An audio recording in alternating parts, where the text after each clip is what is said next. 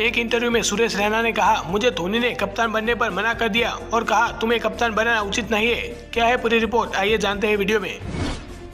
Team India के पूर्व cricketer Suresh Raina ने उत्तर प्रदेश और चेन्नई सुपर किंग्स की कप्तानी की है। हालाँकि आईपीएल की ओर से और भी फ्रेंचाइजियों ने टीम की कप्तानी पर ऑफ़र दिया था, लेकिन उन्होंने एम एस धोनी के कहने पर उन्हें स्वीकार नहीं किया था। रैना को भी सीएसके में जमकर सम्मान मिला है। रैना ने एक इंटरव्यू में बताया की किस तरह ऐसी उन्होंने धोनी के कहने पर कप्तानी के ऑफ़र को छोड़ दिया था। जियो सिनेमा पर होम ऑफ़ हीरो शो में रैना को इस बारे में सवाल किया गया था। उन्हें पूछा गया की आपने कप्तानी की है, लेकिन बहुत कम समय के लिए क्या आपने लंबे समय तक कप्तानी करने की चाहत रखी है? इस पर रैना ने दमदार जवाब दिया। उन्होंने कहा, मैंने उत्तर प्रदेश और चेन्नई की कप्तानी की है और इनके अलावा कई अन्य टीमों ने भी मुझे कप्तानी के लिए संपर्क किया था। लेकिन धोनी भाई ने मुझे कहा, तू कहीं मत जा, मैं कप्तान हूँ और तू वाइस कैप्टन है। मैंने कहा, मुझे कोई कप्तान बनने की चाहत नहीं है। मैं बस खेलना चाहता हूँ और अपनी टीम को जीत दिलाना चाहता हूँ। अगर मुझे मौका मिला है तो मैं इसके लिए कड़ी मेहनत करूँगा। लेकिन कभी भी मैं ऐसी किसी चाहत के पीछे नहीं भागा। रैना ने आगे कहा, मुझे हमेशा से लगता था कि मैं एक टीम प्लेयर हूँ और टीम की मुश्किलों को खत्म करना मुझे अच्छा लगता था। मुझे लगता है कि कप्तान बनने से आपके दोस्त आपके दुश्मन बन सकते हैं और दुश्मन दोस्त बन सकते हैं। जब मुझे वेस्ट इंडीज दौरे के लिए टीम इंडिया का कप्तान बनाया गया था,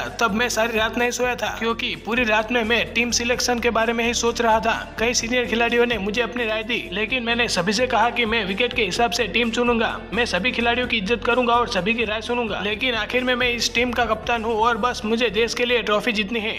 धोनी और सुरेश रैना की इस दोस्ती पर आपका क्या मानना है? हमें कमेंट करके ज़रूर बताएँ। धन्यवाद।